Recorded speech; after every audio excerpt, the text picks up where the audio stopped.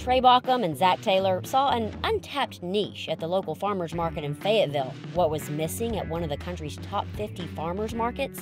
Mushrooms.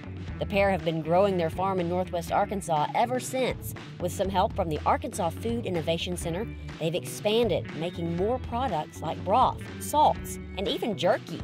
On the next episode of Good Roots, we head to Fat Top Farms in northwest Arkansas and meet up with these fun guys.